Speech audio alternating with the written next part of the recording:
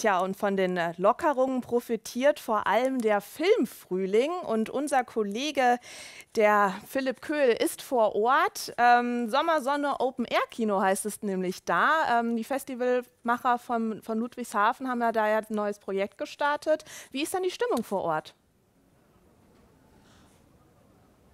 Ja, Tracy, die Stimmung ist wie das Wetter. Die Menschen hier strahlen mit der Sonne einfach um die Wette. Sie strömen jetzt auch langsam hier rein. Hinter mir sieht man es. Ähm, die, ja, die Stühle und die Leinwand ist natürlich schon lange aufgebaut. Die Leute freuen sich einfach auf den Film und ja, sind hungrig nach Kultur. Wie viele Gäste sind denn jetzt eigentlich erlaubt vor Ort?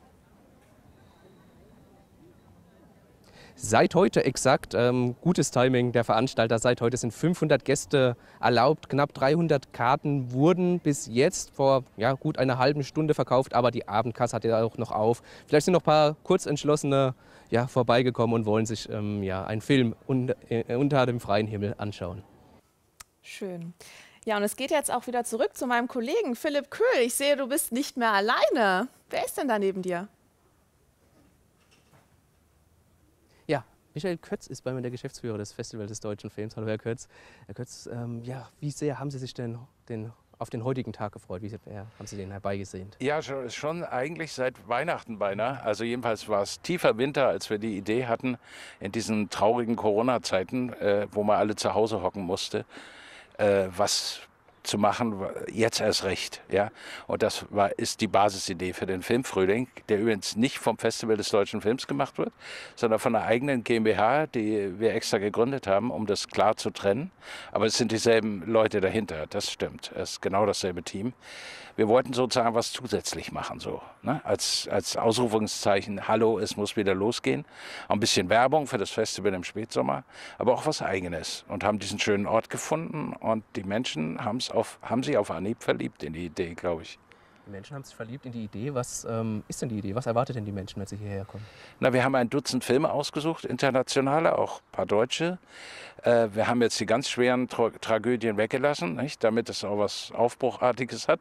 Aber es sind keine nur leichten Filme. Es gibt schon was zu denken und zu erleben. Das ist ja auch unser Erkennungszeichen, dass wir nicht so billiges Kino machen, sondern es ist schon ein bisschen, bisschen anspruchsvoll äh, im Sinne einer wirklich guten Unterhaltung. Das ist eigentlich schon alles und das Ganze im Freien, an diesem schönen Rehhütte, diesem Ort, den die BASF uns so schön netterweise überlassen hat. Äh, ja, und ein bisschen Unterstützung von der Landesregierung hatten wir auch aus einem Topf für neue Projekte in der Corona-Zeit. Leute, die was sich trauen. Das war jetzt wie für uns gemacht. Heute der Film, es geht um eine Anstalt. Äh, ja, die Resonanz und knapp 200, 300 äh, Zuschauer sind da. Ja, ja, äh, der Witz ist ja, Corona, alles unberechenbar. Gestern wären es noch 250 maximal gewesen. Heute dürfen 500 hier sein. Wir haben also nachträglich sozusagen die Verkaufszahlen erhöht. Wir hatten uns darauf eingestellt, aber wir wussten auch nicht genau, ab wann es so sein wird.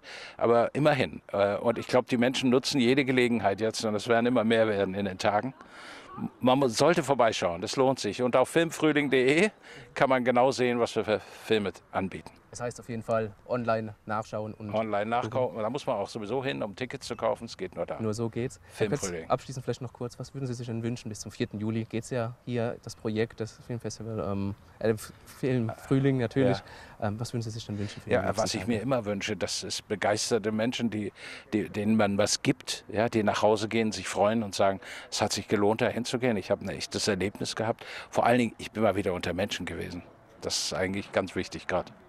Absolut, sehr schön. Wir haben es gehört, die Leute sind sehr hungrig auf Kultur, sie freuen sich auf den Film und die nächsten Tage, das Wetter bleibt noch einigermaßen so, ähm, dann äh, werden noch hier viele, viele Filme geguckt.